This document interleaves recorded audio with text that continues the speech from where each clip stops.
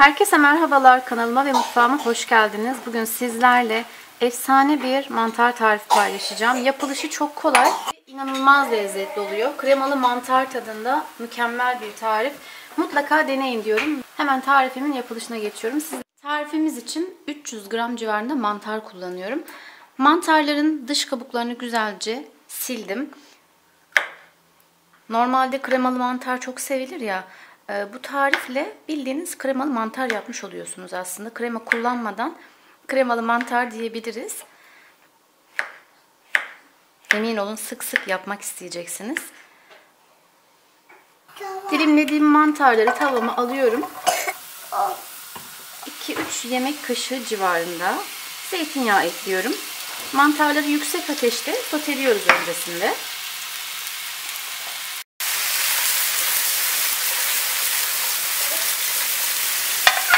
Mantarlar sotelenirken üzerine 3 diş ezdiğim sarımsağı ekliyorum. Ve sarımsaklarla birlikte sotelemeye devam ediyorum.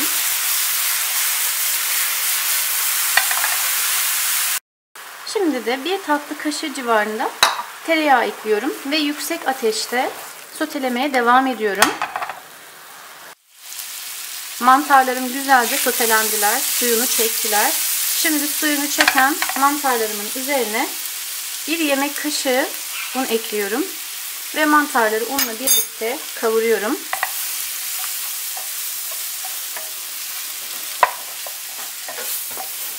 Mantarlarımı kavurdum unla birlikte. Şimdi de üzerine bir su bardağı süt ekliyorum.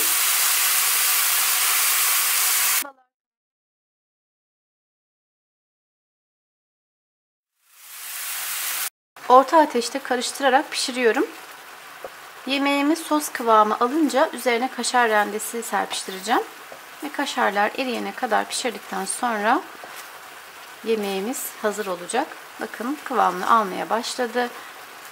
Çok az daha pişirdikten sonra yemeğimiz hazır olacak. Bu aşamada yemeğimizin tuz ve karabiberini ekliyorum. Bir çay kaşığı tuz, yarım çay kaşığı da karabiber ekliyorum. Ve tekrar karıştırdıktan sonra kaşarını ilave edeceğim. Rendelenmiş kaşar peynir serpiştiriyorum.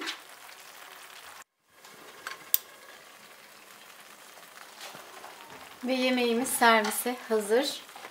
Harika görünüyor ve de çok lezzetli oluyor. Mutlaka deneyin arkadaşlar.